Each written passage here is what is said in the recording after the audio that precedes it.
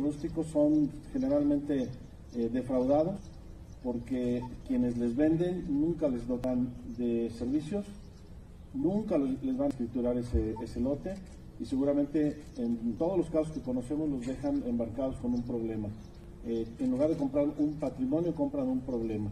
E invitamos a los medios de comunicación a que nos ayuden a difundir esto, porque desafortunadamente no son empresas establecidas.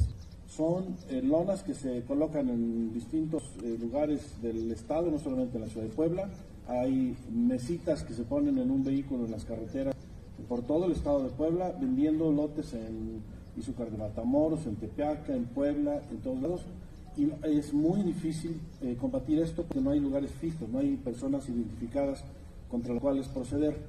Hemos identificado ya incluso trazos de, lotes que se están comercializando del otro lado del lago de Valsequillo. Y esto a la larga va a generar problemas sociales y, repito, insisto, es un fraude para quien nos. Entonces, por favor, eh, para todos los que nos escuchen a través de sus medios de comunicación, les pedimos no sean víctimas de este tipo de fraudes, no compren lotes rústicos porque, insisto, son, eh, es una situación ilegal e irregular.